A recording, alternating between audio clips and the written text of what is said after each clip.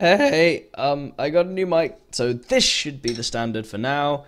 We'll see how that pans out. I also sorted out my room finally, so yay. Not really game news. Let's do game news. Game news is fun. What's important? Ah! New scripting system. Cut all this, because this is narrative. Shit, I shouldn't really show this. I'll do test. There we go. That's way better. This is the little test that I made for my scripting system. The idea is it, it reads like a literal script, and that what dict that is what dictates happens in the scenarios. It's based on a similar system that we use at the place that I work, and it's a really, really nice pattern for building custom bespoke gameplay moments. What else have I done? Oh yeah, I added this guy who I'll pop up uh, some on-screen footage of what they looked, what the little jelly beast looked like before. It was ridiculous.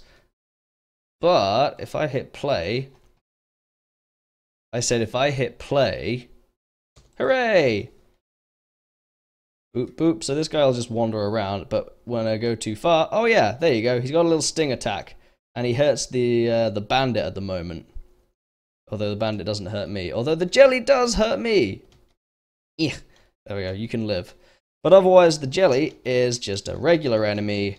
A nice test of my little subclassing system. And boom. Uh, you, you can live too.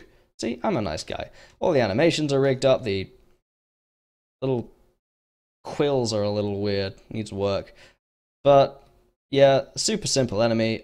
Otherwise, I've just done a butt ton of refactoring and cleaning up a bunch of the code stuff. What's next? Oh yeah, I'm thinking about playing with the art style, but we'll see.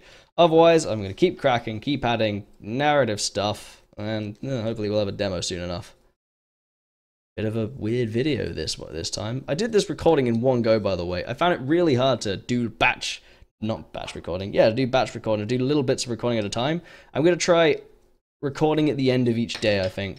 You know, record what I've done each day because this video is not going to be snappy. This is going to be a shitty video.